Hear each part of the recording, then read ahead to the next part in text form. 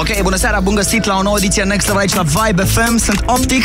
Mă bucur să fiu din nou cu voi, mai ales că uh, am o surpriză super plăcută și un uh, invitat pe măsură în această seară aici la Vibe FM. Sâmbătă seara se întâmplă în uh, capitală un an de Wise Guys, cu alte cuvinte petrecerea aniversară, cu invitat uh, principal Scarlett Etienne, care este în această seară invitată în studio. Alături de ea vor mixa Adrian Eftim, Emanuel, Alin Stoica, Cezar Stan și Piticu.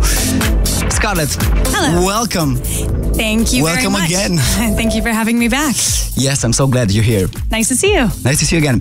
Uh, what happened in the past, what, 14 months? Has it been that long? March last year? I Oh think? my goodness. Um, What hasn't happened? So many things have happened. Um, since last year, well, yeah. Like, tell me three major things. Three major things. Okay, well, I've been to Burning Man twice, which is quite major. Going to Burning Man once is quite We'll major. talk about this later. Yeah. Um, I performed at Montreux Jazz Festival with uh, Nile Rodgers and Johnny Marr, and uh, a, a bunch of really amazing performers like Grace Jones and Alternate and Mark Ronson. It was fabulous. All I mean, it was just amazing being up there with Johnny Marr and, and Nile um, playing keys. Um, We brought you a key tonight from our friends DJ Superstore just to make you feel comfy. oh, you brought me a mug. I'm gonna have to have a play around with that later. Listen, it's connected. If you want to sing something, it's no problem. It's just well, it's, it's, a little bit aggressive. so it might be difficult to perform. Uh, we did it something. stereo, no problem. Uh, we solved the problem. Awesome. Thank you. And another thing, um, what else has happened? Uh, um, I fell in love. Uh oh. This is good, right? I know. Yes, it's very good. It's uh, it's the one you've been. Um, do we know him? Let's start like this. Do we know him? You don't know him. Oh, You don't know all right. him, but you will. all right. So that's a that's a good good thing to hear. Thank you. Uh, you're moving to New York. Why? I am. Um, I've been in London for a very long time, and I want to go home. I want to go back to New York. I want to be with the American people, and I went to. Um, well, actually, after Burning Man the last time, I, I went to New York to see Lee Burridge. Do you know Lee Burridge? Yeah, of course. Uh, so I went. Who to go- doesn't? I went to go to one of his parties, and um, I just realized that I have so many amazing friends in New York, and it's such a nurturing, wonderful, creative environment uh, for artists. So I just said, why not? I'm going to go home. I'm going to go home to New York. I'm going to go home to New York City. New York is actually the place you were, you were you lived right in the I, childhood. yeah, I used told to me live last there. time. Yeah, I used to live there a long time ago, but um, I, it was a different experience because I was just starting out DJing. I started DJing in New York. Um, I was a struggling, starving artist, so it was like a completely different story to Yeah. now. I feel like I've um, achieved a lot of my dreams that that I had when I was living in New York, and I just want to come back with a different perspective, and uh, I want to just create more and write more and just do more music and live a wonderful, happy New York City life.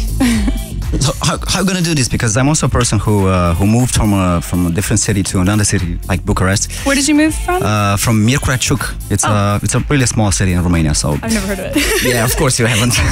Nobody has. All right, so uh, I came to Bucharest and I was n- knowing nobody.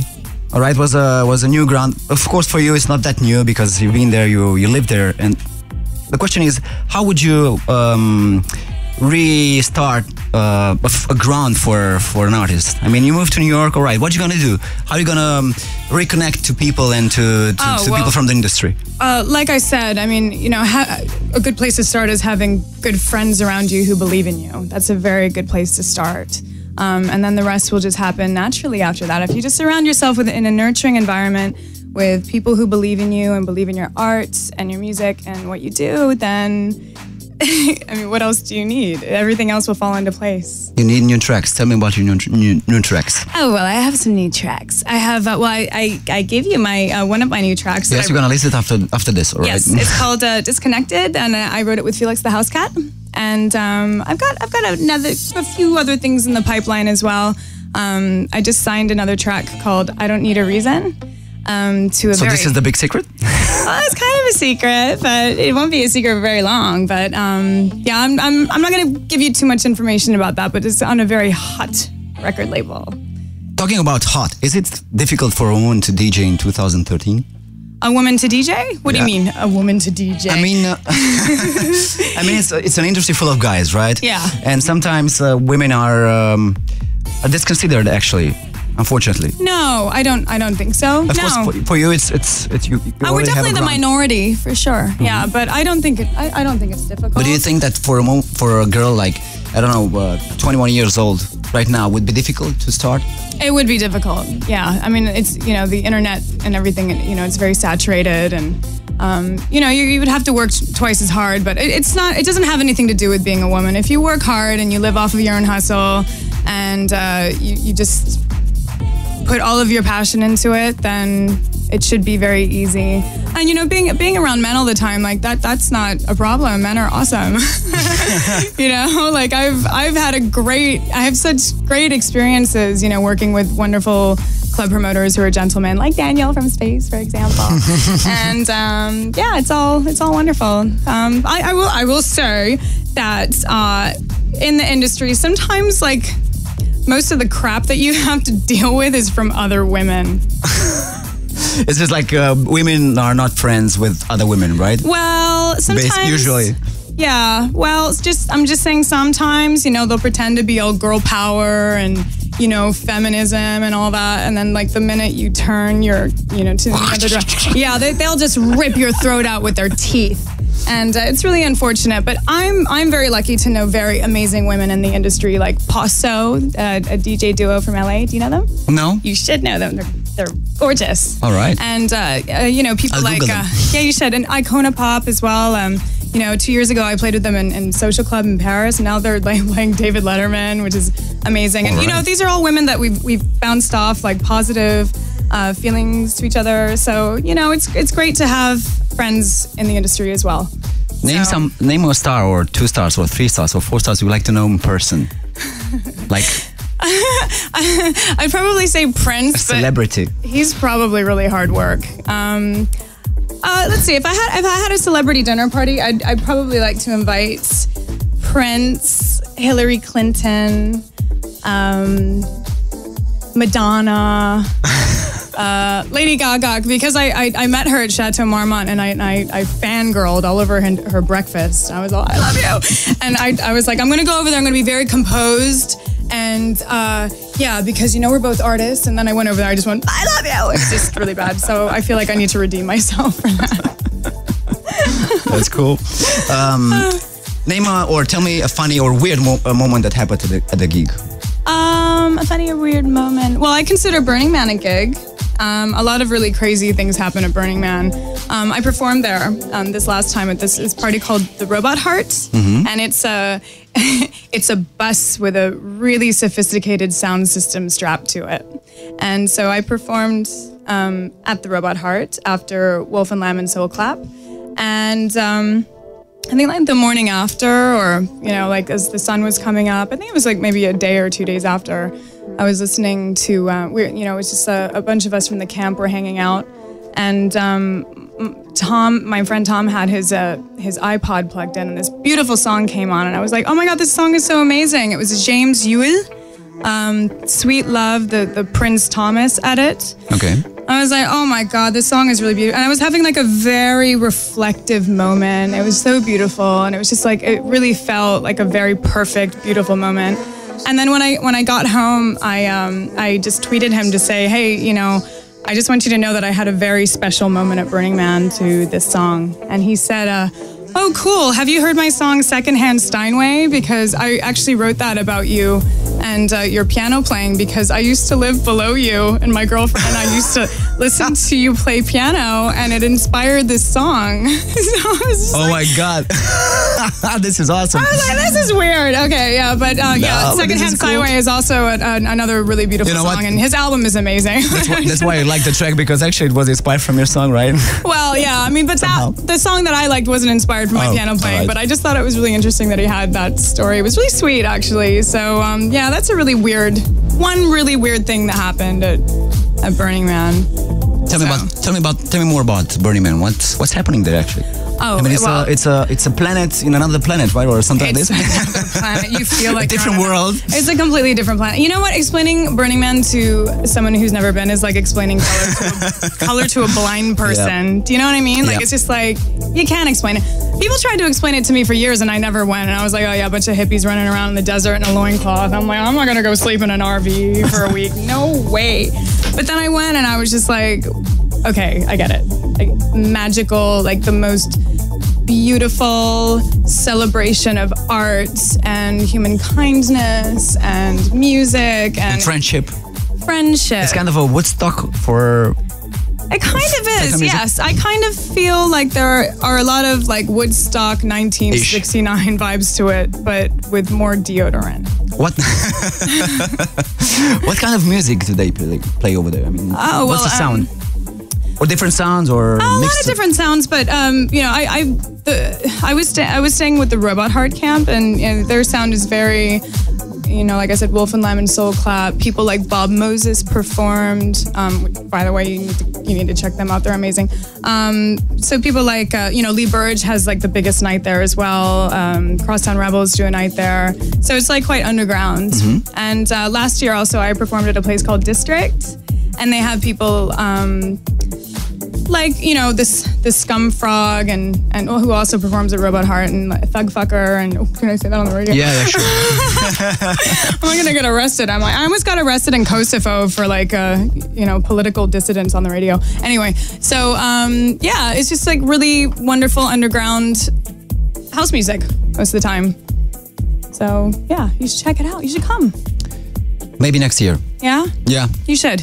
About the accommodation, you, you talked about uh, staying in an RV for a week. Yeah. What's the best hotel you stayed at?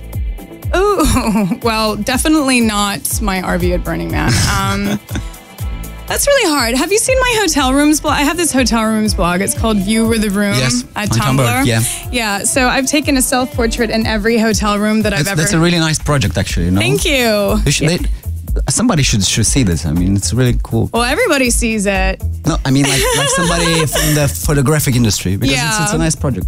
Well, yeah, it's um, it just started out as like a stupid thing for myself, and now it's kind of blossomed to this crazy thing. You know, I, I'm on, I think like number 180 at the moment, and last my last one was the Georges Cinq in Paris. So I think um, to answer your question, my favorite hotel is probably Amankila in Bali. And a close second would be Huvafen Fushi in the Maldives. I mean, both of them are just exquisite hotels to stay. Uh, paradise, amazing. Uh, ever thought about it would have been better for you to born as a maid? Oh no. Oh no, I think I thank God every day that I'm a woman. It is such a gift to be a woman. It is wonderful to be a woman. Yeah, I'm very grateful. If you'd be a man, what would you change? If I were a man, Yeah, what would I change? yeah. I don't know. I don't know what it's like to be a man. Imagine. I'd probably get a sex change. if a man. Best gig this year. Best gig this year. Hmm. Uh, Hard Pop in Juarez, Mexico. I love my Mexican fans so much. I love them. And um, yeah, Hard Pop in Juarez because I'll, I'll tell you why it was the best one. Because the last time I went to Juarez, it was a war zone, like a complete crazy drug cartel war zone.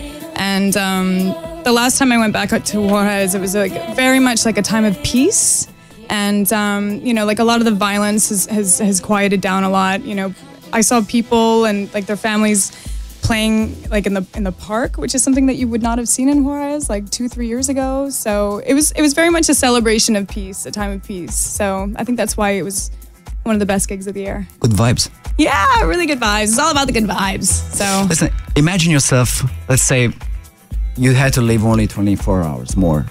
What would you do? Oh, well, I would spend 12 hours traveling to Bali, and then I would spend the next 12 hours surfing in Kuta Beach with a very wonderful gentleman that I know. So that's what I would do. You're that's in my love happy- with. yes, but like that's my happy place. Is like whenever I'm surfing, like I really feel like that's it's just like everything that I do in my life is is worth it when I get a chance to surf. It's wonderful. Do you surf? No, haven't done it before. You should give it a Never. go. I only started a couple years ago. We like- don't have waves. It's like Oh yeah. this big, the biggest wave. They don't have waves in uh in what's it the- called? and In, the uh, Black Sea, no. And the black. Sea. oh, that's a shame. They should call it Sunwaves. Sun waves. Yeah, that's quite misleading. You like Sunwaves? I love Sunwaves. I love Sunwaves. I did not get a chance to go this year because I was I was going around other places. it was really, really crowded this year. yeah. Yeah. Was it good? Yes. Yeah. Yes, it was. Well, actually, I don't remember it too much from, from two o'clock onwards. Um, That's a good sign. yes, of course it is. Listen, uh, imagine you would turn invisible. What would be the first thing you'd do? Probably run around naked, but I do that anyway. So uh, um, I would never want to be invisible. I want to be seen and consumed, and I want everyone to know that I'm here. so I think it would be really dreadful to be invisible. So I'm glad that I'm not.